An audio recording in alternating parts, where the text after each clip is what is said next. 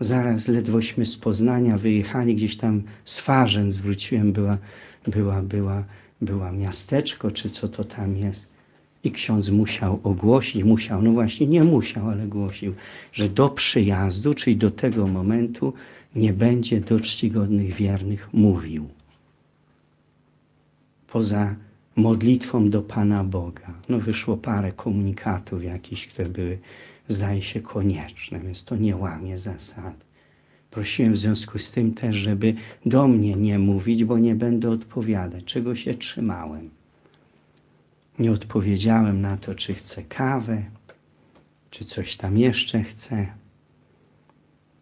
W każdym razie wielka rzecz, co pokazała, jak cisza jako milczenie w nas jest. Że są ci, którzy się spośród czcigodnych wiernych do tego, co ksiądz powiedział, a innym w ogóle nie narzucał. Od razu z chęcią zastosowali. Przyjęli to wolą. Tak chce. Ksiądz tak robi. Dobre jest. Trzeba wziąć. Inni bunt na pokładzie. Bunt na pokładzie. Nie zgadzam się. Nie zgadzam. I dla mnie skarb przez te, te dwa dni patrzeć na czcigodnych wiernych w nowej odsłonie, a właściwie starej. Wszystko się potwierdza. Jak to gada, tak milczy. Jak nie umie milczeć, to też nie ma w sobie mądrych słów i pepla.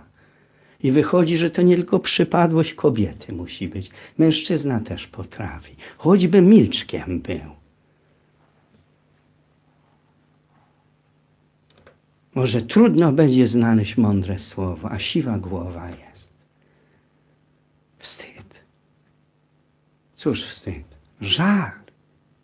Żal mi. Żal. Że tyle lat żyję. Żyjesz na świecie. I tegoś jeszcze nie spostrzegł. A co z tych naszych rozmów, waszych rozmów po drodze z księdzem? W którym ja z siebie krwawicę wy, wy, wy, w jakiś sposób e, wy, wyciągam, łącznie z tym, że dzielę się swoim życiem, a potem, żeby ratować siebie i wiernych przed złą mową, muszę powiedzieć, przez dwa dni proszę się do księdza nie odzywać i ja do was nie będę mówić. Bo inaczej dawałbym wam powód do grzechu gadaniem albo brakiem gadania. Terroryzm to jest narzucanie nieuprawnione innym swojej woli. Ja mogę nic nie powiedzieć. Będę trzy minuty trzymał szklankę, której nie wypiję, inni na mnie czekają, a ja nawet nie zauważę. Bo brak ciszy to jest choroba duszy. Nie tylko nie słyszę, ale nie widzę. A co jeśli ty słyszysz? I będziesz wymyślał, że ktoś więcej łaski otrzymał, jak świętej pamięci tata Pana tutaj, tatuś. Ksiądz więcej łaski otrzymał, a tyś Bóg świętej pamięci Jerzy, że ty wiesz?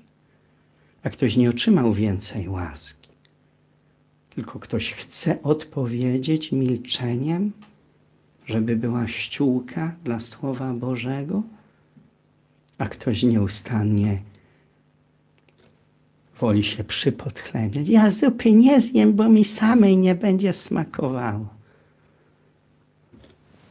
Można mieć prawie 60 lat, albo lepiej głupim być jak but. Perfidnym, głupim, próżnym. Toś ty nigdy głodny w takim razie nie był, bo byś wtedy nie czekał, tylko jadł.